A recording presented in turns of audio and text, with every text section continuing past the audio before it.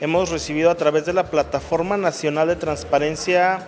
un aproximado de 30 solicitudes de información, más aparte en el departamento hemos recibido aproximadamente otras 5 solicitudes de información. La gran mayoría de las solicitudes de información nos piden datos muy, muy generales nos llegan a preguntar sueldos de los servidores públicos, nos llegan a preguntar el tema de los presupuestos de egresos,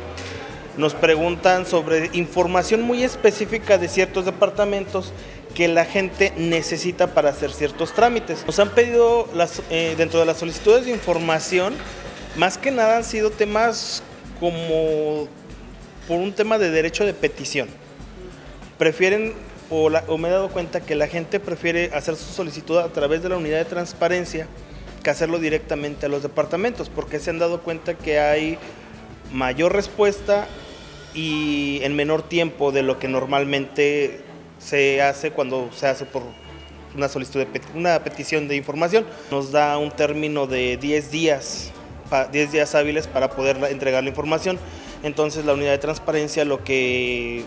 prioriza mucho es el tema de la entrega de la información, porque al final de cuentas estamos cumpliendo con, la,